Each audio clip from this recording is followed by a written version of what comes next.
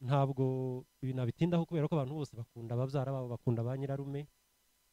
Ariko ikintu gikomeye navuga kuri nsabigaba ni uko we yakundaga abantu bose. Yari umuntu ukunda abantu bose. Abantu bose nta muntu wahuye na nsabigaba n'umunota umwe gusa. Mutabaye inshuti. Ntabwo ari ubwiza bw'umubiri yagiraga kandi si cyo dushaka kuvuga ubwiza bw'umubiri ni mugisha imana yuha umuntu ariko yagiraga ubwiza bwo ku mutima. Ndahamya ko abantu bose bazi sabigaba icyo kintu bakimuziho. Eh, ubwo tugiye gukurikiza noneho abavandimwe ndetse n'abashiki ba nsabigaba ubwo baraza guhaguruka ni ukuvuga bashiki ba nsabigaba abafite abagabo babo hano baraza guhaguruka no nyaruhogazi na muramu wacu muze guhaguruka ndetse muze gufata ijambo kurya mwa- mwabipanze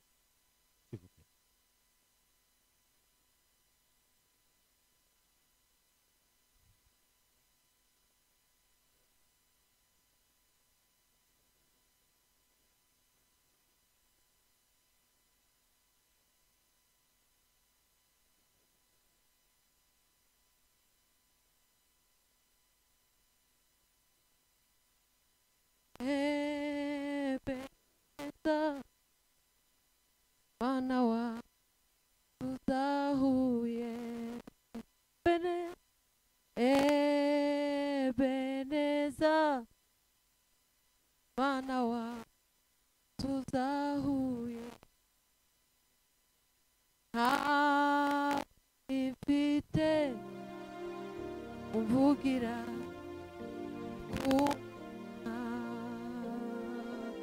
niwe humure.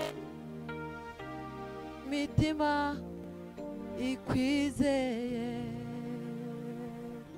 Ntacyo tuzaba kuko twihishe muri we. Ntacyo tuzaba quick,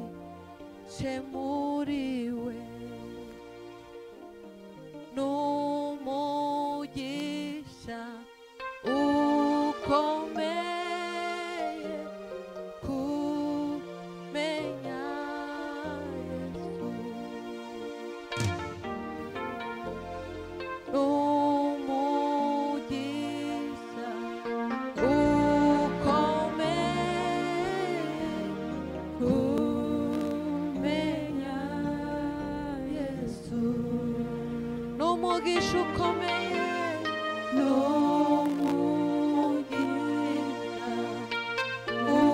ukomeye kumenya haleluya nitwe tubabaye cyane turababaye twese ariko ndizera yuko twakabaye tugaragaza umubabaro kubarusha yesu ashimwe. Haleluya Hallelujah. haleluya Hallelujah. uyu munsi wa nsabigaba ntago byantera isoni kubivuga kubera kuko wari umunsi nsabigaba yaravutse turishima njyewe nsabigaba yavutse ndi umumama. Ni njye mfura iwacu nsabigaba yari umuherezi kwa mama. Tuvuka mu muryango numvishije abantu benshi bagiye bawugabanya tuvuka mu muryango w'abana icumi. Papa yaje kugira ibyago mama arapfa. Ariko ntabwo papa yakomeje kuba wenyine. Yashatse undi mubyeyi uturera ari we mama wacu bafitanye abana batatu. Ubwo rero papa twebwe tuvuka mu muryango w'abana icumi.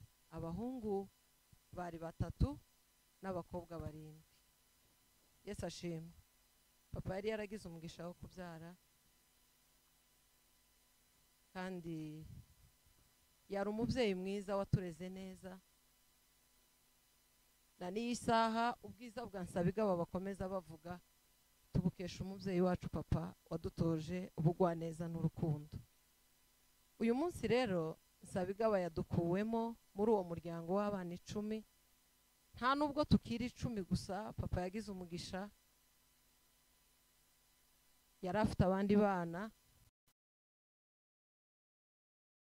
nta nubwo twari tukiri abo ngabo twari benshi hari abantu benshi bagenda bavuga ngo papa ngo yari afite abana bakeya ngo ntiyabyaye.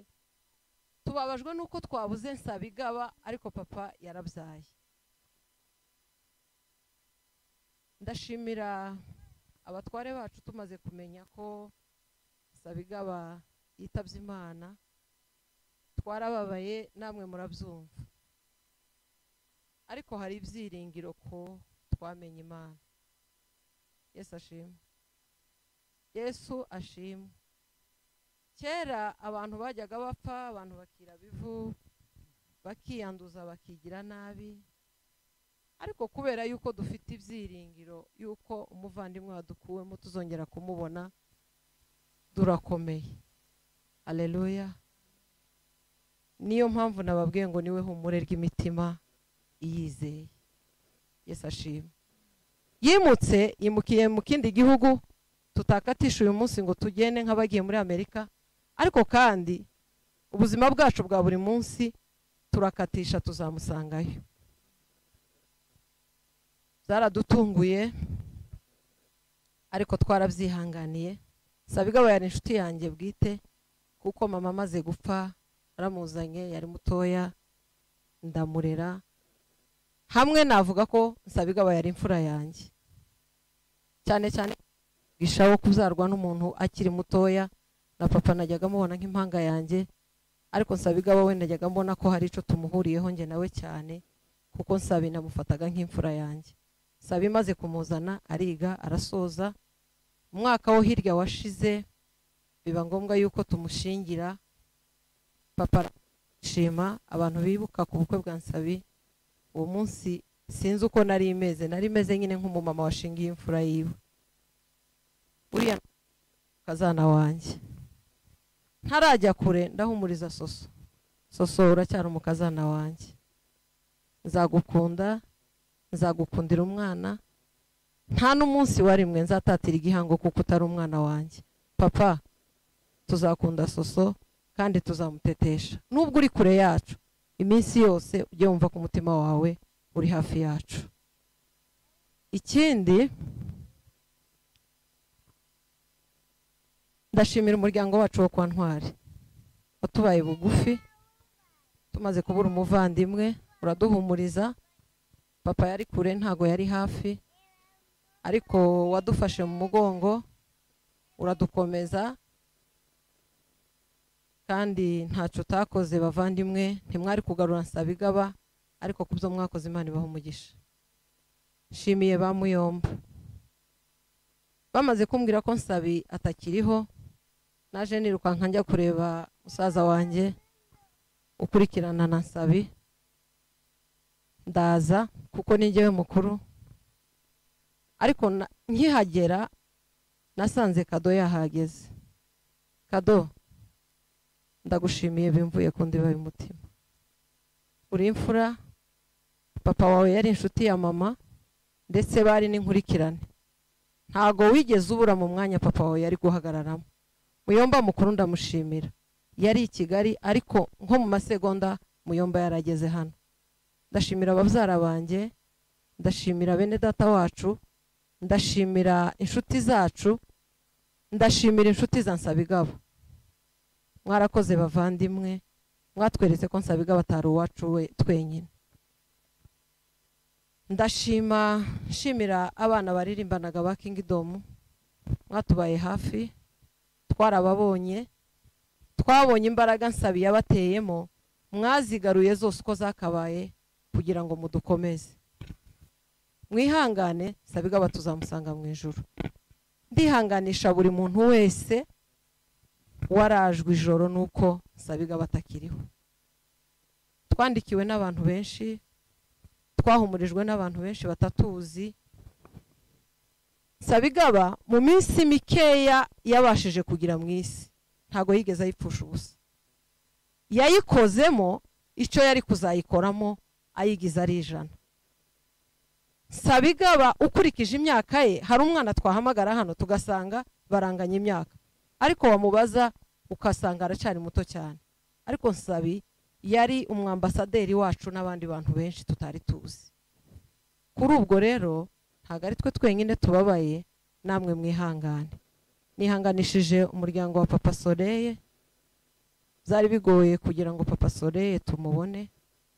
Ariko ndashimira imana yuko mu bikomeye urugendo rw'inzinga rw'inzitane tekereza kujya gukatisha utazanywe n'amahoro byari bigoye. Ariko imana twarayisenze turayibwira ngo mana niba nsabigaba yaragukoreye uzaca inzira kugira ngo umudamu we na papa wiwe bazaze. Imana yarabikoze rero.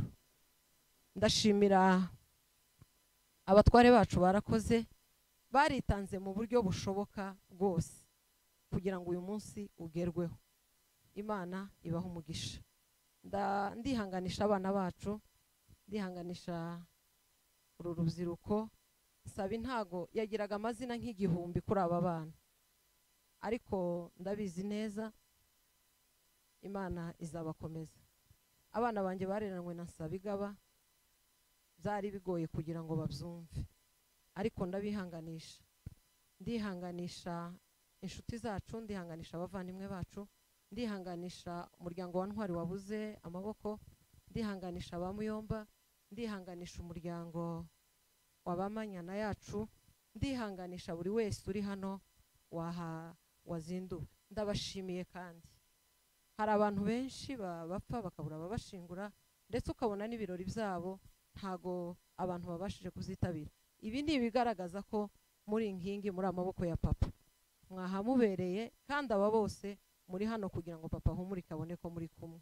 Natwe kandi. Buri muntu wese wese n'inshuti n'abavandimwe ndabashimiye. Kandi sabigaba ntabwo apfuye tuzamuzirikana tuzabana nawe ariko duteganya yuko tuzabana ari muzima mu bwami bwo mu ijuru murakoze.